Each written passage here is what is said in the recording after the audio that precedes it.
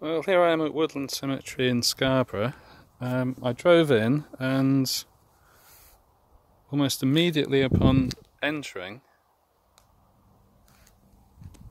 very, very first grave you see is that of Peter Jaconelli, who was the mayor of Scarborough in the 70s, a good friend of Jimmy Savile.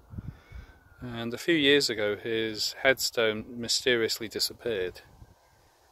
And given the fact that allegations of child abuse were made against him. So I'm getting slightly distracted by flies buzzing around. Given that there are allegations of child abuse made against him, I'm slightly surprised that the headstone's been put back. I find that amazing. And I'm also surprised it hasn't been defaced in some way, but but there we go. So here we are. And uh, Peter Jaconelli is being remembered once again. Make of that what you will.